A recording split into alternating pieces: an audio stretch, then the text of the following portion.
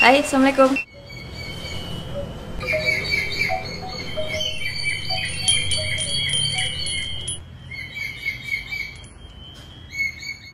Oke, mengawali tahun 2024. Tunggu, ada tukang ikan lewat.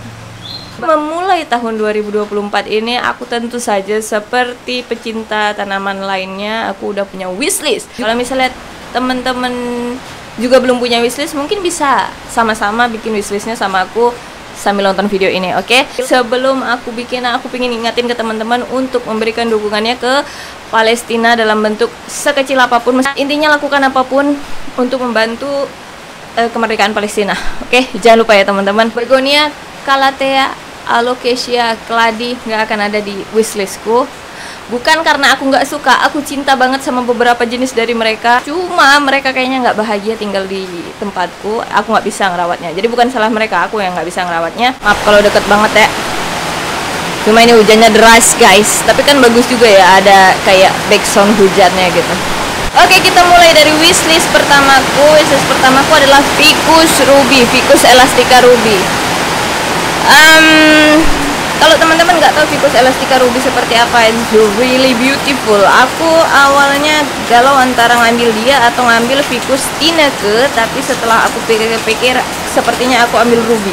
Ini ada tiga nih di situ ada lemon ya. Ficus lemon eh, yang di sini itu burgundy ya burgundy. Nah yang di tengah ini fokus ruby. Cakep banget guys. Nah ini kalau misalnya kalian bisa posisikan dengan tepat kalian bisa dapat kayak merah-merah sedikitnya kayak gitu. Terus tapi lama-lama dia akan mudar jadi mirip tina ke malah kan tapi which is good. Nah yang ini kalau nggak salah ah tina ke tuh kayak gini. Lebih ke putih ke krem kayak gitu. Nah kalau ruby itu dia lebih ke yang kayak merah tadi yang aku tunjukin. Wait nah kayak gini. Dia bisa merah banget. Aku suka banget. Next um, monstera marmorata oke. okay. Ini sebenarnya aku nggak terlalu tertarik sama monstera marmorata karena aku ngerasa dia itu kayak versi mature-nya sirih gading. Tapi temen temanku di IG bilang enggak enggak sama gitu kan. Dia malah nggak terima banget pas aku bilang mirip kayak gitu. Jadi ya aku jadi penasaran juga apalagi harganya sekarang udah lebih terjangkau lah daripada waktu pandemi kan gila banget harganya. Sekarang udah ya masih bisa aku jangkau lah Monstera aurea ya. Aurea atau kita di sini bilangnya marmorata. Let's see. Varigatanya kuning. Nah ini dia. What do you guys think? Uh, kadang beberapa tanaman itu butuh dilihat langsung di depan mata ya baru suka. Aku jarang sih bukan jarang sih nggak pernah lihat di nursery Makassar uh, ada yang jual marmorata jadi aku belum tahu aku butuh lihat langsung. Nah, oh ini cakep banget sih.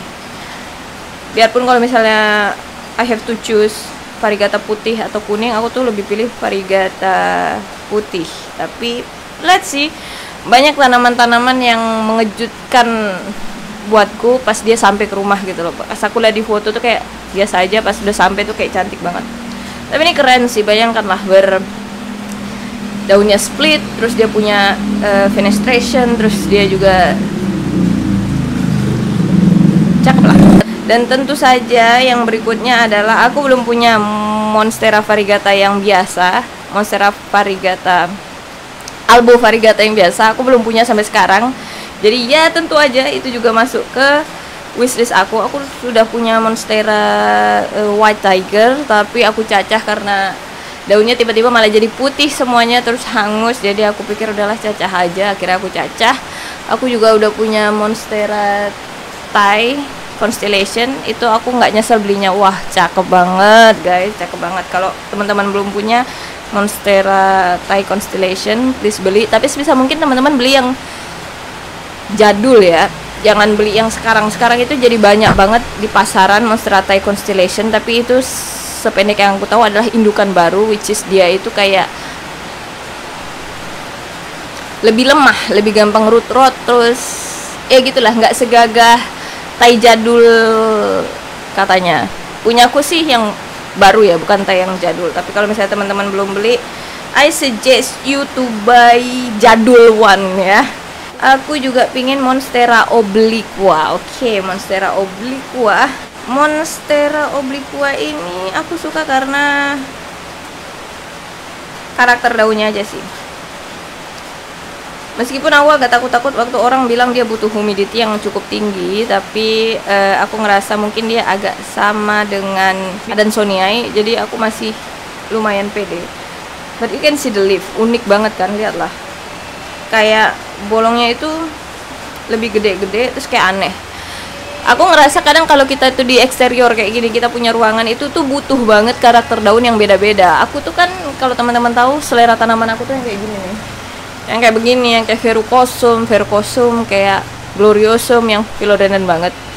Tapi kalau misalnya kita susun itu kita benar-benar butuh sesuatu yang uh, menjuntai butuh sesuatu yang punya karakter beda gitu supaya kita nyusunnya bagus dan enak dilihat gitu. Kayak ini teman-teman bisa lihat di sini terus tiba-tiba ada spectrum moss di situ kan karakternya beda banget. Dan gambarnya jadi bagus banget gitu. Eh jatuhannya jadi enak dilihat gitu nyusunnya. Eh enggak sih? Enggak. Cakep banget kan? Keren sih dia. Kayak uh, bawa kita ke kayak zaman purbakala gitu bukan sih? Kayak rasa-rasa purbakala gitu. Oke okay, I got it. Domesticum variegata oh this is bagus lah ya dia kayak philodendron emerald bentuk daunnya kayak philodendron dark lord juga daunnya cuma dia uh, variegata Hmm, kalau misalnya ini tuh mengingatkan aku juga sama Painted Lady. Mungkin kalau disuruh pilih antara Domesticum dengan Painted Lady, aku lebih pilih Domesticum karena ini cakep banget ya. Dia kayak lemon, kayak jeruk pis warnanya, which is nice. Lumayan, lumayan suka. Atau ini juga ngingetin aku sama Philodendron kayak violin ya. Cuma dia kayaknya violin itu lebih seksi bentuknya lebih ke biola. Tapi kalau ini bentuknya kayak biasa. Tapi kalau disuruh pilih antara domesticum dengan violin variegata mungkin aku lebih pilih violin variegata kali ya. Karena lebih seksi aja bentukannya daunnya. Philodendron Andresen. Ya yeah, it reminds me of Pink Princess. Cuma kayak lebih galak aja warnanya ya ya itu juga aku pingin punya semuanya sih itu white knight white wizard white princess andresen tapi kalau kayak pink princess yang ada variasinya kayak galaxy kayak black cherry kayaknya aku mm, nggak terlalu ngincer. Tapi kalau misalnya kayak variasi kayak white wizard white knight white knight aku udah punya. Dan dia baru muncul coba variasinya setelah sekian lama setelah aku ancam buat Caca. Akhirnya dia memunculkan variegasinya. Guys luar biasa. White Princess berkali-kali aku lihat oh White Princess keren banget. Ini juga Anderson keren banget. Let me show you White Princess ya. Oh cakep. Ini variegasi salah satu variegasi yang aku suka sih. Ada kayak merah-merahnya terus ada pinknya terus ada hijaunya kayak gitu. Menurut aku cakep. Mari kita lihat White Princess ya. Oh iya. Yeah. ini cakep sih asli cakep menurut aku. Um, dia lebih banyak ke putihnya ada pinknya ada hijaunya which is really good. Mungkin kalau kalian plan parent laki-laki mungkin kurang terlalu suka ya yang ada pink-pinknya gini but it's good.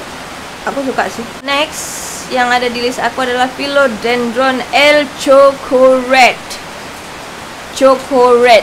Banyak dari teman-teman yang bilang aku itu suka Verrucosum karena aku belum punya Monstera variegata. Aku udah punya Verrucosum waktu itu sampai gede aku rawat biarpun sekarang udah nggak ada karena aku cacah habis sampai botak terus aku coba propagasi gagal semua. Setelah aku punya Monfar, aku masih lebih suka Verrucosum percaya nggak percaya menurut aku tanaman yang paling seksi itu adalah verrucosum dan ini aku mau beli lagi karena udah mati yang kemarin kan dan harga verrucosum alhamdulillah semakin terjangkau. Dan itu adalah satu-satunya tanaman yang aku pingin beli lebih dari satu saking sukanya. Aku suka fiturnya daunnya e, bentuk daunnya e, stemnya periolnya cakep menurut aku tapi kan selera tanaman orang beda-beda dan ini El Chocorate adalah sejenis ya pokoknya aku kan suka tanaman yang kayak gitulah Melano Gloriosum Glorious uh, Gaigas termasuk El Chocoret. El Chocoret ini dulu mahal banget guys, mahal banget. Sekarang aku alhamdulillah dicariin dan lewat pula itu tukang sayur ya kan. Nah aku kemarin baru dicariin dan alhamdulillah dapat El Chocoret. Kalau teman-teman belum tahu Philodendron El Chocoret itu inilah dia perwujudannya belakangnya itu sangat chocolate. See? sih cakep banget kan biarpun bagian belakangnya doang sih bagian depannya you can see biasa aja sebenarnya lebih mirip ke kayak splendid atau glorious tapi dia selera tanamanku yang begini guys. Mau gimana lagi gitu kan? Majestic selera aku emang kayak gitu-gitu kan? Nah lihatlah. Aku suka banget tanaman yang punya uh, gurat hologram gitu. Peru Kosum sangat punya itu. Yes dia sangat punya itu. Dan lihatlah bentuknya tuh yang kayak hard banget. Ya iyalah namanya aja philodendron kan? Philo udah jelas-jelas artinya itu cinta hati. But yeah Elkokoret itu tanaman yang aku nggak nyangka aku bisa dapet lokal. Tapi ternyata sekarang udah lumayan merambah ya. Ada El Chocoret uh see inilah dedaunan idolaku tuh kayak begini bentukannya. Cakep guys. Cakep banget. Ada fikus satu lagi yang aku suka. Uh, aku tahu tem aku nggak tahu teman-teman udah pernah dengar atau belum. Ficus silverina oh iya. Yeah. look at that. Lihatlah daunnya. Uh. Oh ini juga alasan aku ngambil tineke sih. Tineke itu kan lebih cenderung ke putih, ke krem gitu kan. Nah tapi ini tuh lebih splash. Nggak splash sih lebih ke eh gitu. Lebih kayak dilukis dan ada pink-pinknya di daun baru sedikit which is really nice. Cakep banget. Aku udah ada lihat tapi harganya masih mahal sih dengan ukuran yang kecil banget. Kita tahu kan uh, Vicus itu tuh lebih ke tanaman yang bakal gede banget. Vicus itu bisa gede banget. Guys dia tuh masih keluarganya beringin. Can you imagine? Dia tuh kayak beringin. Kalau ditanam langsung di tanah tuh dia bisa gede banget segede bangunan. Aku pernah lihat di Bali sana. Gede banget sampai aku nggak percaya kalau itu Vicus cakep banget ya. Oh iya yeah. lihatlah variegasinya guys. Dan ini adalah kumpul-kumpulannya ada burgundy, ada ruby, ada tineke dan ada lemon. Untuk kalau teman-teman udah berpikir untuk kenapa sih aku suka ficus kan? Ficus tuh satu nggak gampang mati menurut aku. Yang elastika ya, jangan ficus yang biola itu. katanya sih susah di luar susah, tapi aku belum pernah punya. Katanya di sini gampang karena tropis. Ficus itu daunnya tebal banget guys dan punya daun yang tebal punya variegasi itu oh keren guys tebal bervariasi makanya aku suka Hoya Nah, tapi alasan aku nggak punya Hoya di wishlist kali ini adalah karena aku udah punya cukup banyak Hoya satu, kedua aku belum nemu lagi Hoya yang khas, yang khas, yang unik banget itu. Oke, okay, next Philodendron Jose Buono. Ini aku belum punya, uh, tapi kita bisa punya dupesnya. Dupesnya itu adalah Philodendron Paraiso Verde. Aku heran kenapa Paraiso Verde ini dulu pernah mahal ya. Padahal pertumbuhannya tuh lumayan cepet loh menurutku. Dan harusnya tanaman yang punya pertumbuhan cepat itu nggak semahal itu. Oh ya ini cakep sih, cakep eh, cakep banget Jose Buono. Mm, mm, mm, mm. Dan dia nggak gengli, dia nggak gengli guys, dia nggak gengli kayak Paraiso Verde which is really nice Paraiso Verde itu cakep tapi aku akui dia itu sangat gengli. Genglinya itu agak-agak menyebalkan. Next Anturium dorayaki. Yes aku belum punya Anturium dorayaki. Aku ngelihatnya lucu banget ya Anturium dorayaki ini. Hmm, aku ambil ini karena aku punya philodendron eh aku punya Anturium clarifernium yang aku suka banget karena wow bentuknya cantik banget ya. Clari clari itu cakep banget menurutku dan iya dorayaki ini aku suka karena dia bulat-bulat gitu lucu kayak hati tapi gendat gitu bukan lucu banget ya kan. Which is I love. Ini silver blast. Next ada Joy PI dulu tuh kan saking mahalnya Jo Jopi UPI dulu saking mahalnya Philodendron UPI itu kan uh, kita bisa beli dupesnya kayak Mexicanum, Philocode um, terus apa lagi? Itu unik banget guys tuh. Aneh tapi unik. Kalau misalnya kita taruh di taman kita tuh dia bakal ngasih karakter yang mantep. Kayak tulang ikan atau apa ini? Aku nggak tahu bentuknya. Hmm ini joypi kah oh ya joypi karena kalau tadi dia fotoin cuma kayak gini ini lebih mirip ke philodendron apa itu namanya aku lupa saking lamanya nggak bikin video. Holto kalau misalnya cuma kayak gini doang ini mirip Holto tapi kalau dilanjutin sampai bawah yes. Dia tuh kayak Joy PI which is keren. Ini jelas masuk di wishlist aku karena aku suka daunnya yang agak unik-unik dan aneh kayak gini guys. Skin Dapsus Rubicon. Skin Dapsus. Aku baru aja dikasih tahu kalau bacanya bukan Skin Dapsus tapi Sin Dapsus uh, ini tanaman yang aku suka banget ya. Aku udah beber punya beberapa jenis Dapsus dan aku nggak pernah kecewa sih sama mereka. Uh, dari mulai warnanya teksturnya cara tumbuhnya.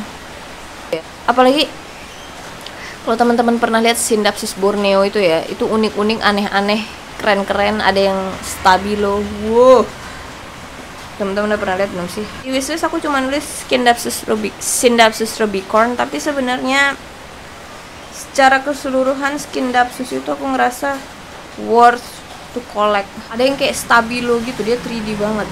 Mana ya? Oh yeah. Ya udah dia kayak sisi ular kan? Keren banget. Ya intinya skin Dapsus itu punya banyak varian yang keren banget. Dan aku nggak tahu apa dia tuh asli tanaman asli Indonesia mungkin ya. Pokoknya dia kayak banyak banget di Borneo gitu. Syngonium chiapensis.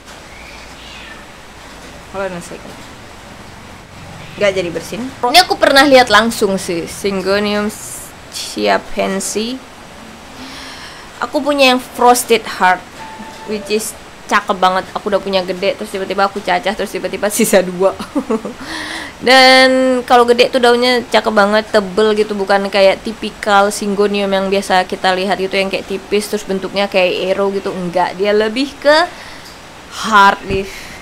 Tuh lihat aja deh keren banget kan? Terus hmm tebel.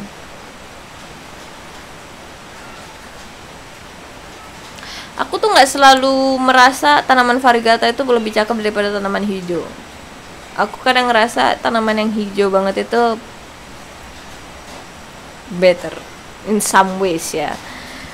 Uh, tapi ya varigata aku akuin cakep banget datanya nih strawberry shake. Ini tuh salah satu tanaman yang dilihat langsung cakep. Aku pernah lihat ini waktu main ke Malino. Pas dilihat langsung aku aja kaget hah ini pensi nih? Karena kalau di foto kan kayak hijau gitu doang gitu kan. Tapi kalau pas dilihat langsung wah cakep. Jadi ya itu siapin sih mirip-mirip dengan frosted heart.